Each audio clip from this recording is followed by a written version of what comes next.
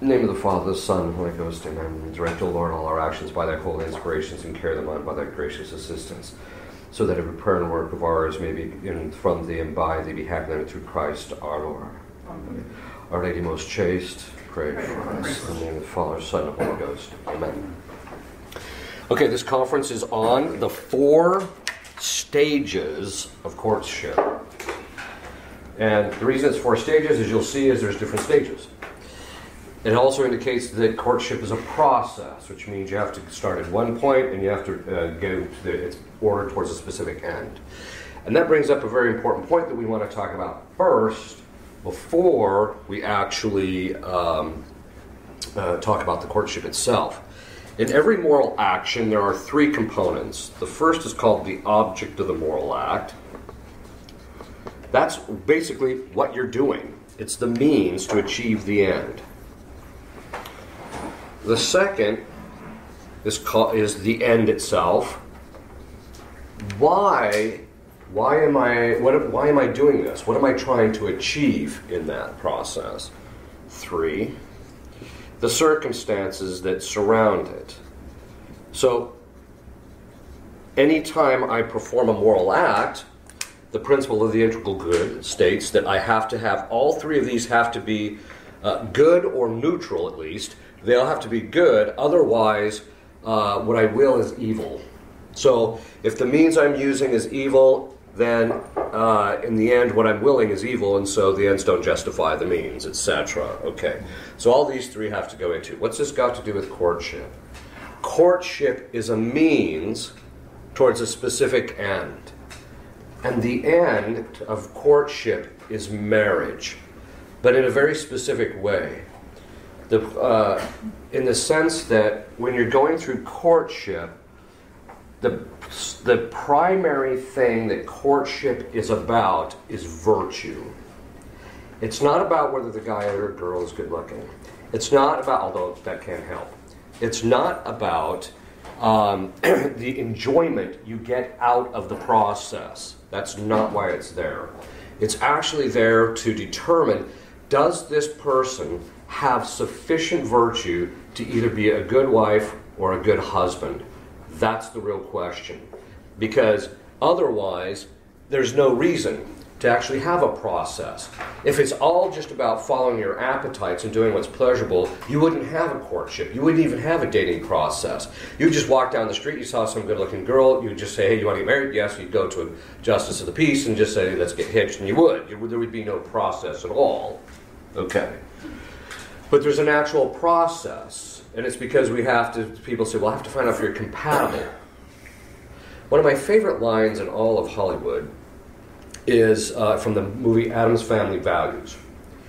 And Morticia says to Gomez, when Fester gets married to this woman who's not the best woman on the planet, he sa- she says to him, Aren't they a lovely couple? Or no, sorry, take it back. She says, Aren't they a perfect couple? And he says, She's a woman, he's a man. Perfect match. okay. The point being is, is that this is, it, it, it's not about whether there's a compatibility or not, although that's part of it too. It's ultimately about virtue. And virtue in a very specific way. So before we get to the four stages, the next thing we have to do, since it's about virtue, why? Why is why is it about virtue? Because virtue is a set of good habits. When a person has a specific virtue in a specific area, it tells me this is how this person is more than likely to act in this area of behavior. So, when it comes to virtue, if a person has sufficient virtue to be married, it means that when you get married, they will have sufficient virtue to act in a virtuous way, in a consistently good way. If they don't have virtue, it means that when they get married, they're not going to act in a virtuous way. They're going to act in an evil or a harmful way, and it's going to be difficult to have common life with them. Okay? So the whole goal is to determine do they have the sufficient virtues, A, to live in common, B, to raise children properly, to fulfill their duties of their state in life, etc. So the whole thing is determining that so that when you actually get to that common life, then all the other things surrounding it, like romance, which we'll talk about here in a minute, romance and things like that will all find their proper place. Okay, so uh, St. Thomas says that honor, and you heard me talk about this, honor is praise or an intellectual recognition of the excellence of somebody. So it's praise of someone for excellence. Or it's an intellectual rec- uh, recognition that this person has a certain excellence that is important.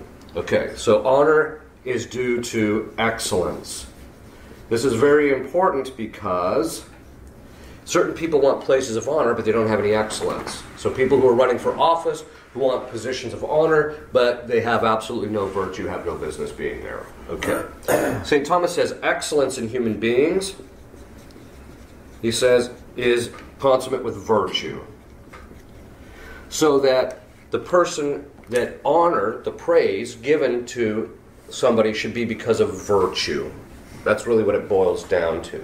A recognition that there's some excellence, some good thing in this individual, and that is virtue. So, um, this is a very key point because according to the natural law, the, one of the primary functions of the father and husband is to protect the honor of his wife and his daughters.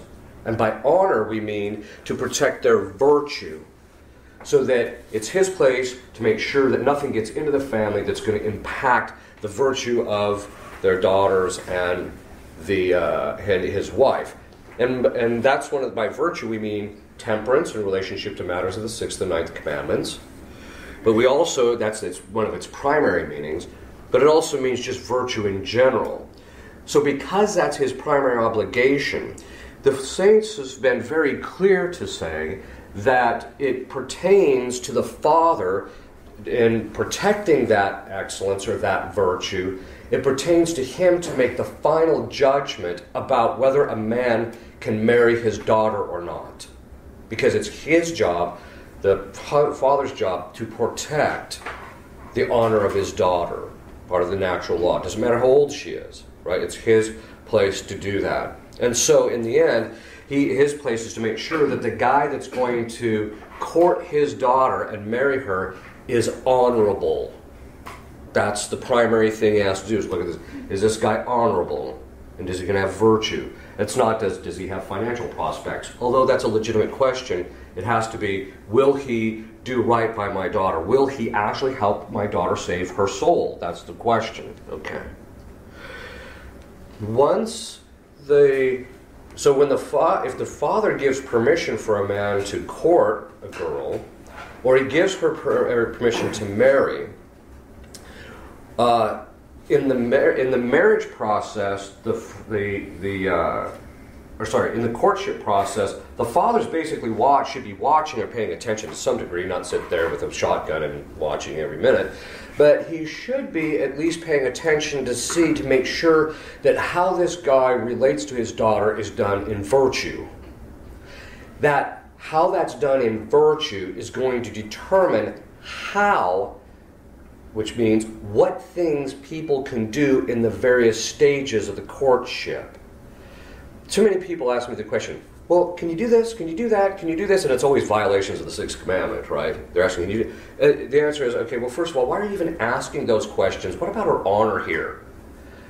If a guy is even asking that question, you should say, I'm not having anything to do with him because he does, he's not looking out for the woman's well being, right? Okay. So then once they get married, at marriage, at marriage, the father brings the daughter down the. Um, I think I've talked a little bit about this here before, but the, the father brings the daughter arm in arm to the altar place, which is where the marriage vows are going to be exchanged. When he gets there, he lifts the veil, which is a, which is a sign to the to the, the guy that's about to be her husband. You make because he can now see her face. You may now contract bodily rights with my daughter. So I'm giving consent to this. After he lifts the veil, he takes her hand and he hands it over to, to, the, uh, to the gentleman who's about to become her husband. And the reason that's done is it's a passing of headship. And the headship is there again for what? For honor in relationship to his wife, to protect, to make sure that, okay, you're to, now it's your responsibility to protect her honor, not mine. and it's your place to take care of her, to lead her to heaven, etc. Okay. So, this means in the courtship process, because people always ask me, well, what's the what's the story with dating and courtship? What's the difference? Well, it's kind of they've started to define them differently. They basically say, well, dating is just people who are doing it for recreational purposes, right? If my goal is to find out that this person has sufficient honor or virtue, then really it's not about, hey, am I going to get to make out on the first date? Am I going to get to do this? You know, let's go over and do this, right? There's, it, that's not going to be the question.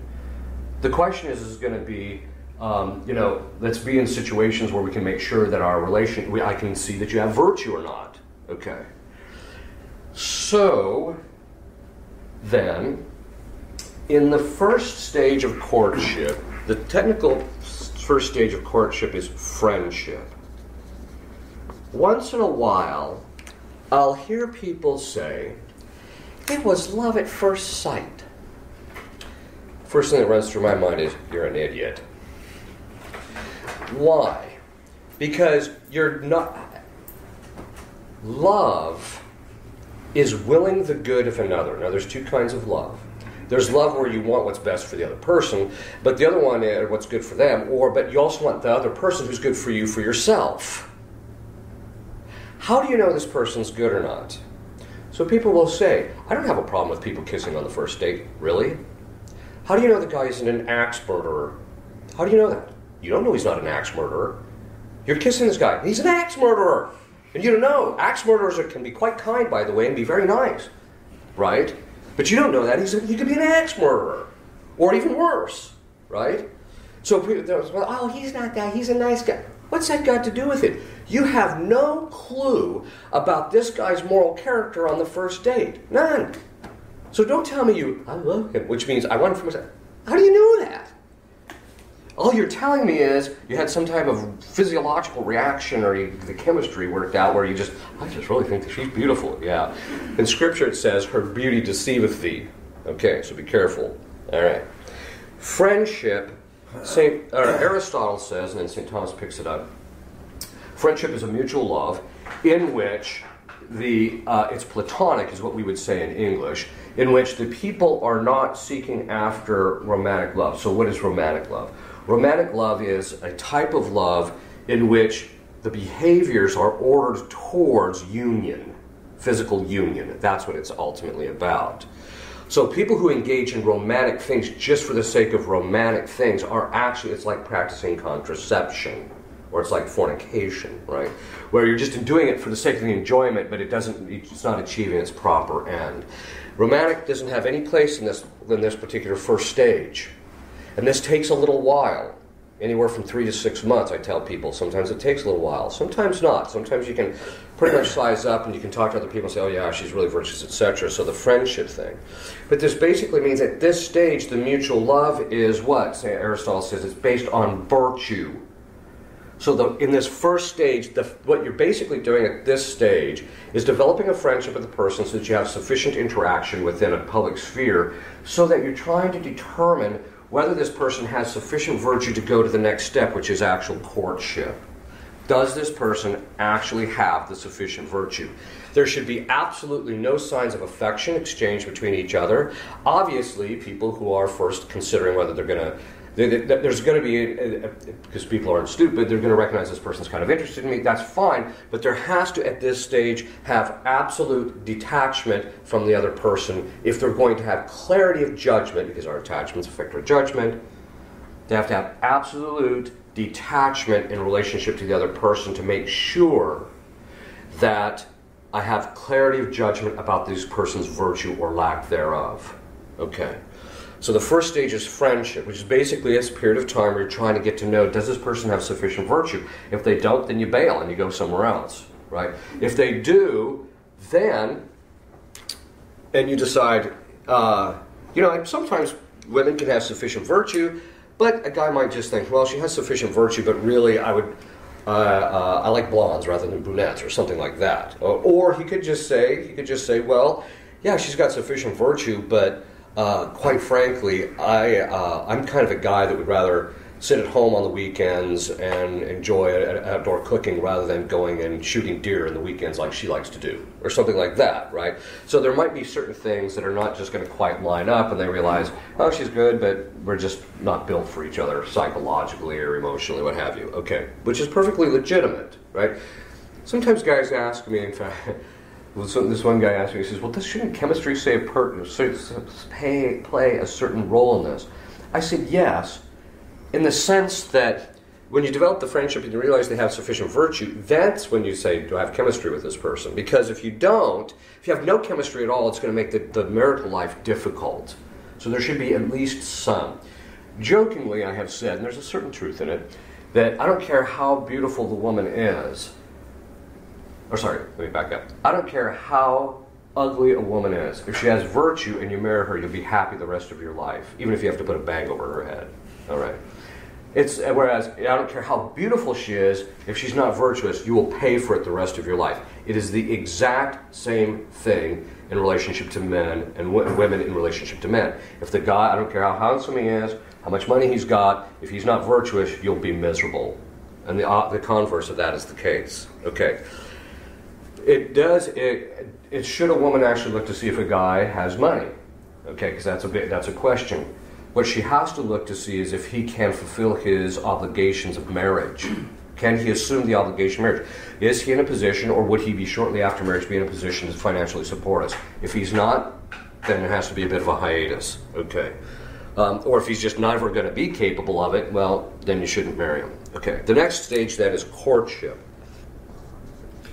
And what is what? What's the hallmark of courtship?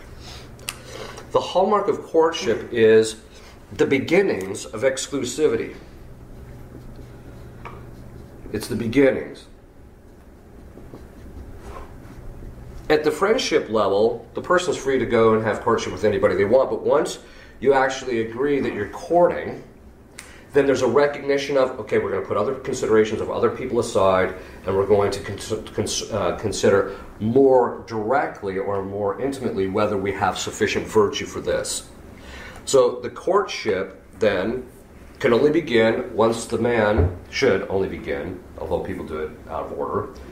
He should go to the father and say, "Do you can I have permission to court your daughter?" If he says no, well, sorry, okay. But if he says yes, then the courtship should essentially contain one thing. And people ask this, they, they ask this to me all the time. Can you start? When do you start showing signs of affection? Not at this stage. The principal function of courtship is to show that you have self denial in relationship to the other individual. That's what its principal function is. Can I be around this person and sacrifice my own desires, my own wants? Can I sacrifice myself to make sure that this person gets what's best for them? That's the essential structure of courtship. So that you're around them in a moderated way, you're around them more frequently, you should not normally be alone, but you're around them more frequently to get a better sense of their virtue. You need to spend more time with them because people can fake. But over the course of courtship, which should last three to six months, the person you're not going to hide six months in, right? If there's any kind of frequency of being around them. Second of all, again, there's no signs of affection. Why? This is a huge thing. And it's something that's so gargantuan that it's so obvious that people don't see it. Aristotle has this phrase, he says, that the more self evident a thing is, the more difficult it is to see. And this is one of those. Why is there no signs of affection at this stage? Very simple.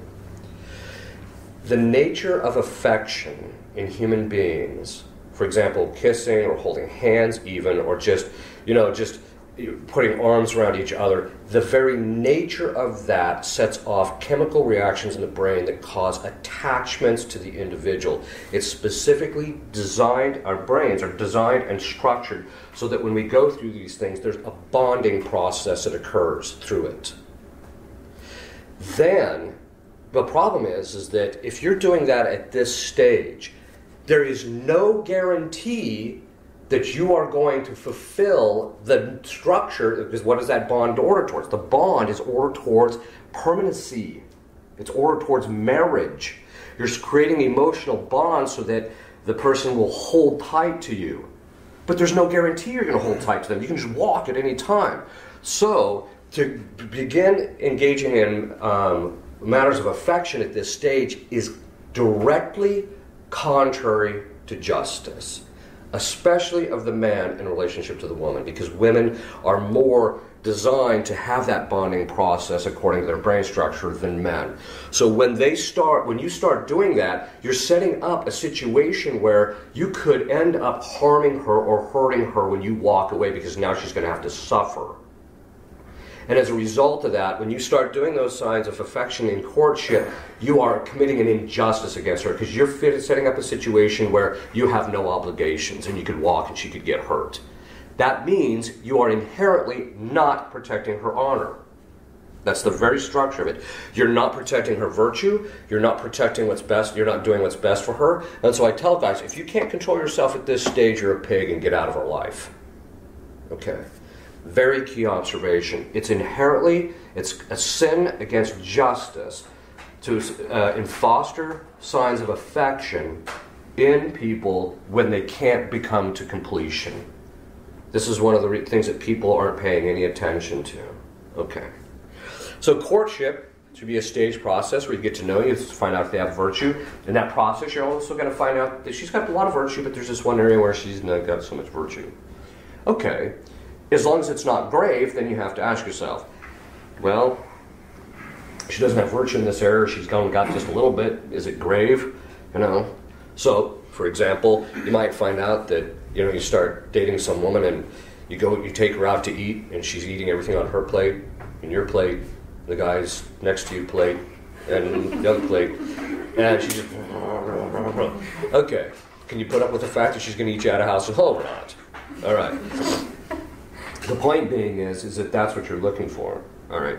In relationship to, so, the, but in, in the courtship stage, the main thing he's looking for in her, the main thing he's looking for in her is that ability to submit in marriage. Can she submit to his decisions? Can she submit to his lead? His, what he's look, what she's looking for is love. Which, by the way, is interesting because most women say, I got married for love, and that's not what I got. Okay. Why is she looking for love? The principal aspect of love is on the side of the person who loves someone else is they will sacrifice themselves and go without for the sake of the beloved's having the good. That's what she has to look for. Is this guy willing to sacrifice himself for me? Is he willing to say no to himself? Is he willing to go out and do hard and difficult things and suffer for me? Or is he just a selfish pig and he I can't, can't keep his hands off me? Right?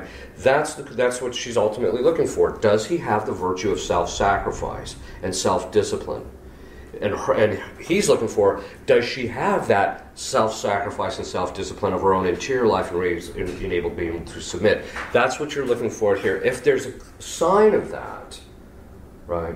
And we're not talking about just external, he needs to see that she wants to submit. She wants to be under somebody who's rightly ordered. Okay. The next stage then is betrothal. If they recognize, be, oops, I'll try and get it spelled right here. Betrothal. I think I got that right. In betrothal, in English, we a lot of times we call this engaged in the mind of the church in the past, now it's all to the winds. In the mind of the past, the church did not consider you what we would call engaged until you went through the rite of betrothal. Okay. So once I recognize this person has the proper virtues, I decide I want to marry them. I want to spend the rest of my life with them. Then you then you go and you propose. First, he has to go to the father and then say, "Okay, I've been courting your daughter for this month. I think she, you know, I love her. I want to marry her. Do I have your permission to do so? If he says, if he looked at it and said, no, you weren't acting virtuously through this whole process, you're out of here, then that's it. It's over. By the way, the father has a right to end the courtship at any time according to the natural law. Now, most fathers wouldn't do that and most daughters wouldn't submit, but I'm just telling us what the natural law is set up. But once he, then if he says, yes, you may marry my daughter, then he asks the, the, the, the girl, will you marry me? And she says, yes you still cannot offer signs of affection yet. Why? saying yes is no guarantee in any way whatsoever. Because why? People say yes and they leave all the time. Rather, they have to, once that she says yes, and I've seen guys actually do this who actually understand the structure, they literally have a priest waiting in the offing so that as soon as she says yes, great, let's go, hmm, stand in front of the priest, and you do go through the rite of betrothal, which is a series of promises that, yes, I will marry you. Once the person promises that they will marry them, then they are bound to the marriage unless there's grave cause.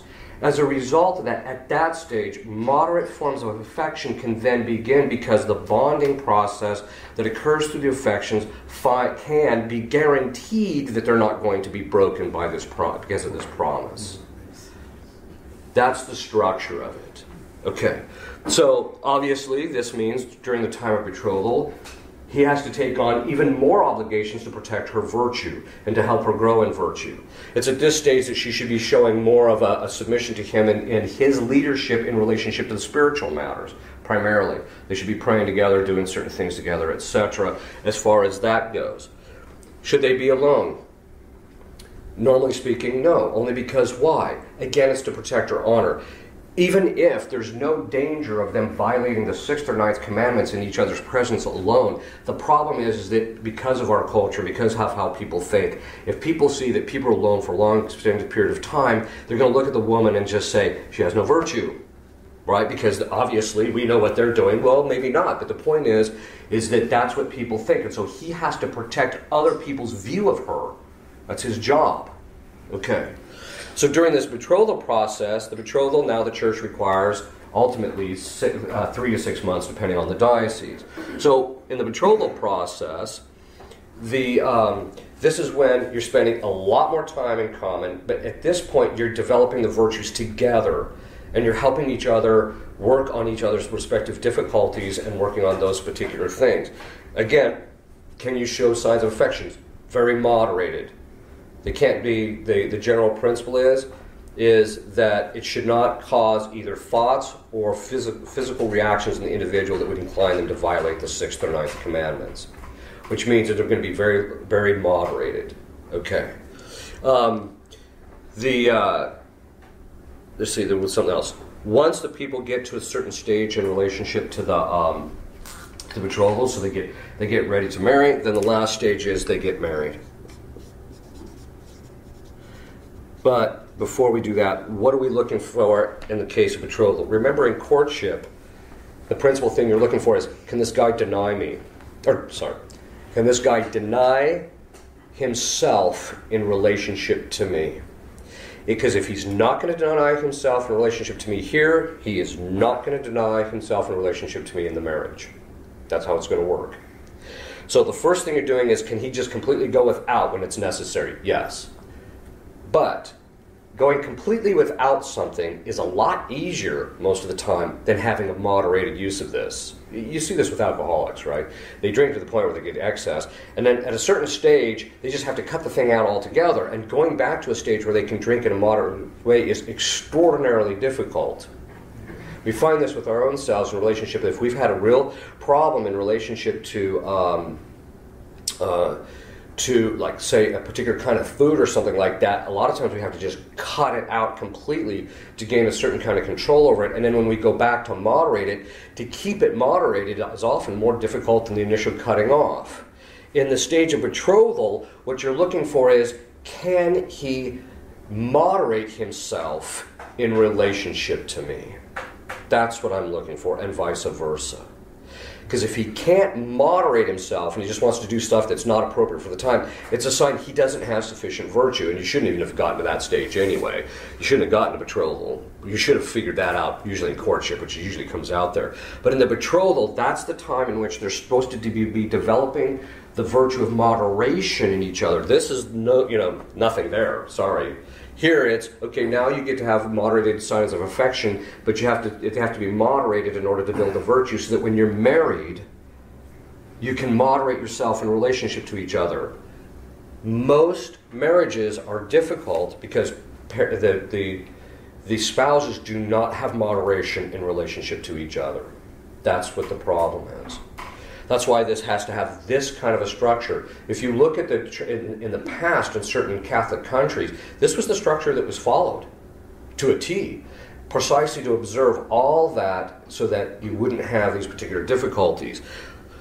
Second, the virtues that you develop together by the time you get to here, because love is willing the good of another, if you're based in virtue, you're going to see the virtue of the other person, and that's going to be the thing you're going to love about them more than the way they look. Right? And so when you get married, it's less of a problem. But it really boils down to in betrothed, do I moderate how I relate to that individual? And that's that's the key thing. And then in marriage, of course, the, what's the moderation? The natural law. So anything in relationship to the sixth or ninth commandments has to be circumscribed by the natural law. And as long as you do that, that's the moderating factor. Okay. That's the structure. Now, most people don't have a clue when they first look at this. But when they first hear this, like, okay, this makes sense. The key thing is to recognize the fact that signs of affection engender a bonding for which you are not being just to that person by doing so because you're not guaranteeing that the bond for which you are ordering, that the type of bond you're doing is going to could be broken and cause pain, which is unjust. Okay, that's one of the key things I think most people don't grasp. All right. Any questions? Yeah. In the courtship stage, and we're supposed to be trying to figure out if you know they have virtue or not people aren't perfect, so would that also be a stage where you might correct each other, help each other develop virtue? Oh yeah, oh yeah. You're going to help them develop virtue at this stage, um, but it's uh, it's it's it's this is more of a this is kind of the beginning discovery phase. This is the more uh, serious discovery phase. Mm-hmm. But yeah, and you would. Because you might correct me, you know, maybe you should try this or maybe you should try that. Right. And in fact, it's usually a courtship stage. What's ironic is, is it's usually during the dating process that people are trying to fake you out, right? Right. I'll just act perfect, and then he'll love me, and then I'll get married, and then he'll find out what a schmuck I am. Okay. no, the point being is, is that really the courtship phase should be a stage of transparency. This is what I am. You know, sorry. You know, if you if you can't live with it, can't live with it. Or, you know, they, when they see that, then they can start helping. So this is the stage where certain things will start to be revealed about their interior lives. But it's not until they get to the betrothed that other things would be revealed. But to answer your question, yeah, they would start helping each other, like in doing the fraternal correction. yes. How um, do you, does it work in the dynamic of um, long distance relationships? Say you meet someone from another a cousin who comes in town or whatever, and they have to go back or whatever. You're going to marry your cousin? No, no, a cousin of a friend, or you know, I mean, oh yeah, yeah, somebody's cousin or whatever. You know? um, the courtship process should be one to where you have sufficient contact with them to be able to ascertain the virtue. If it's long distance and you're just doing it through Skype, long term, you're never going to get to the point where you have sufficient knowledge about them. So I would say as a general rule, as a general rule, no. So. How much time are you saying they need to be face well, to face? Uh, in the courtship part, oh, how much time? Mm-hmm. My experience is a month to two months. If they've been already communicating daily regularly, like somewhat daily, not every day, somewhat daily. Because even in the courtship stage, they have to, you know, can't be living around each other all the time because that's lack of moderation too. And same with the betrothed, there has to be a recognition that okay, I can go do my business without you having to be around. Okay, so but in the courtship stage, or in the um, once you realize, okay, I think this person has sufficient virtue to go, it takes about, in my experience, is people who do that say inevitably they always say a month in I realized the person was a problem. So it's about a month to two months. So I don't recommend dating long distance unless it's an arranged marriage. In which case, all of this is contracted to um, because this part is no is no longer part of the equation. The person just has to agree to the betrothal and then from there to go into the marriage. Because these two parts are supposed to be being judged by the parents first before the arranged marriage. This is part of the equation, just not necessarily for the people getting married in an arranged marriage, but it is part of the equation for the parents. They need to be looking at this.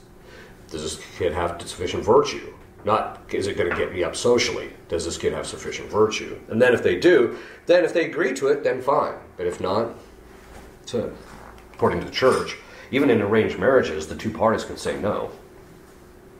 So yes. Uh, do they have chaperones with them?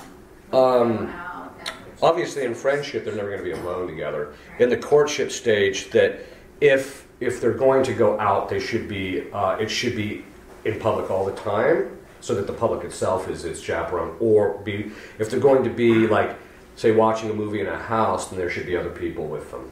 Yes. Okay, and, um, um, how much time do they spend with each other's families? And at what stage? Uh, usually, I tell people that during the friendship when when you decide to do the courtship, that's when you have to go make the visit. Just before you ask them, there should be some kind of interaction with the family. So you know, if you if you realize, well, she seems to be a pretty decent gal, and then you go to the, par- the go to the house and it's you know. Uh, people walking around with shotguns shooting at each other. I don't think you'd want to get in that family. But it should be right at this stage, right before the courtship stops. You get a sense of what the family's like, and then you say to the father, "I'd like to court your daughter," and then it's during the courtship stage that you're actually going to get to know the family.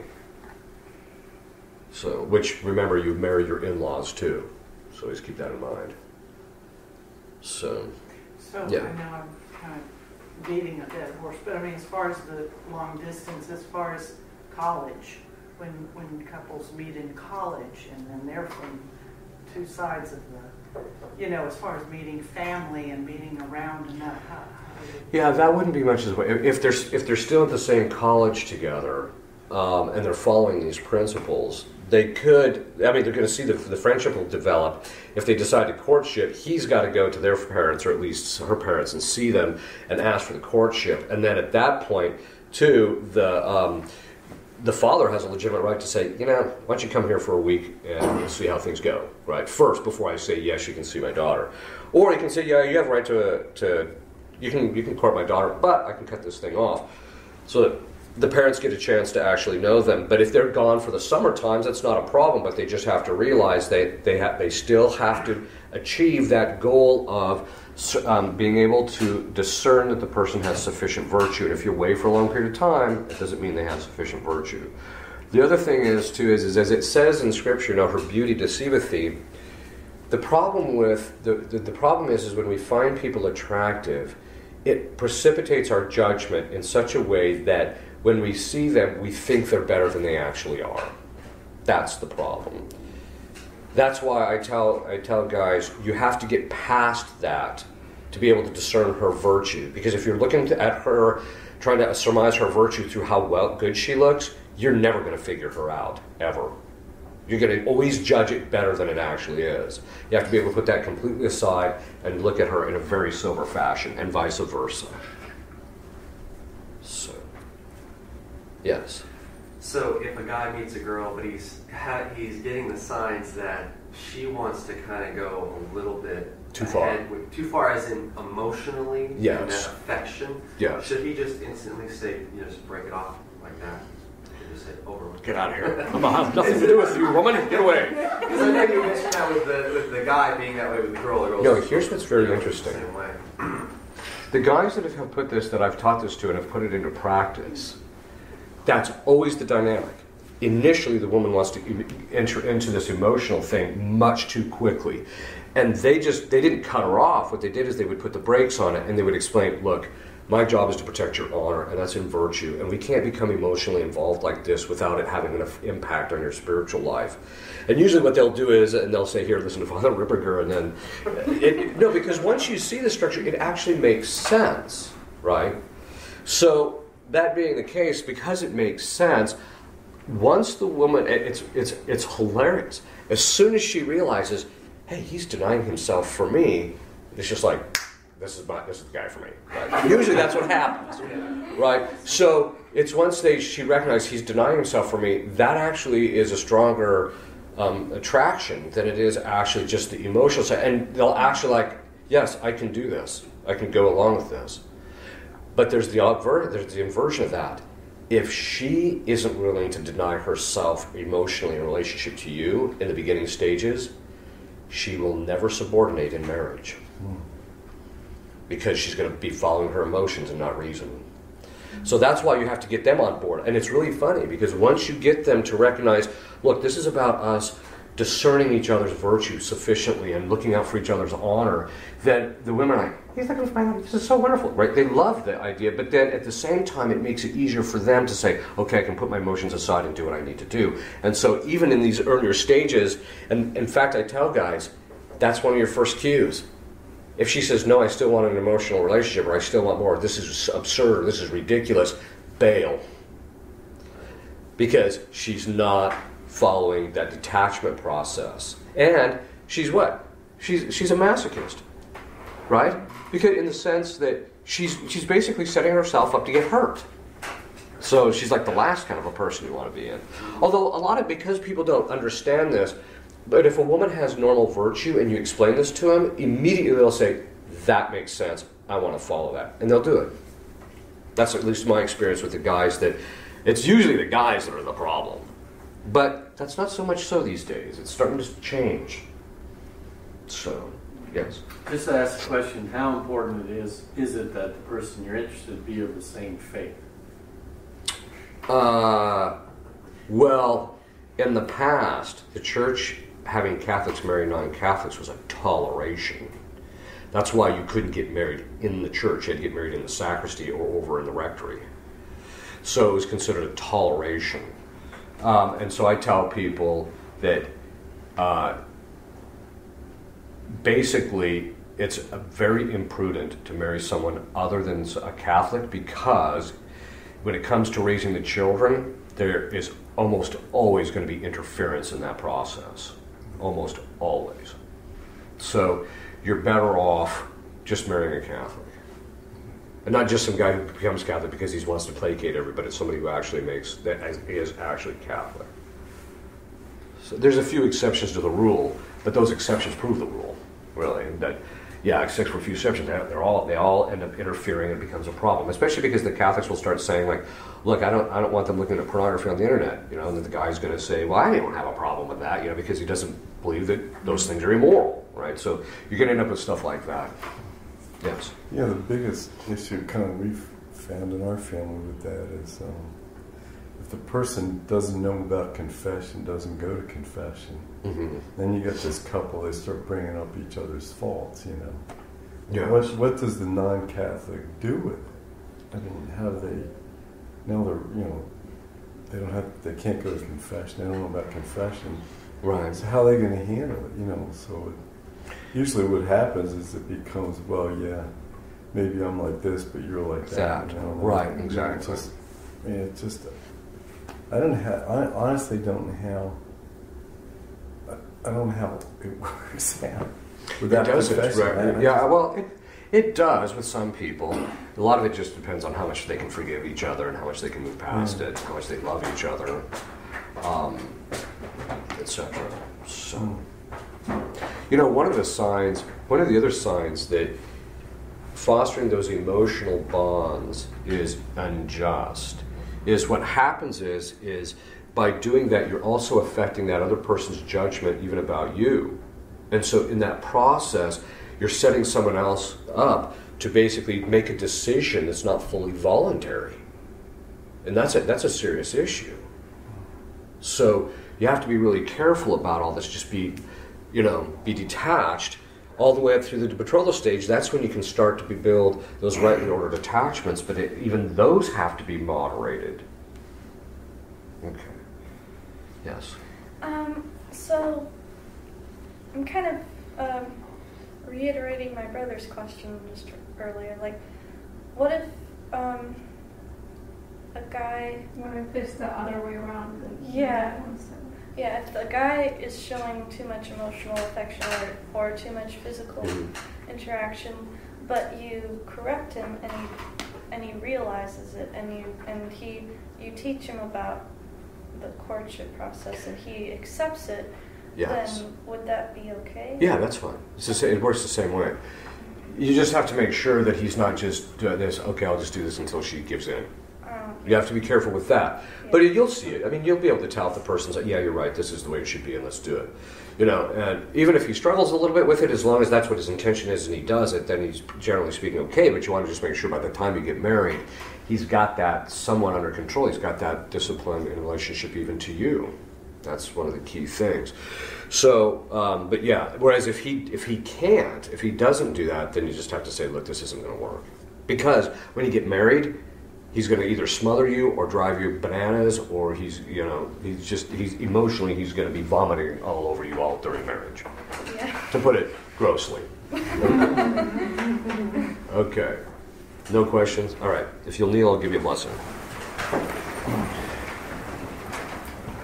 Benedictio Dei omnipotentis Patris et Filii et Spiritus Sancti super vos et semper.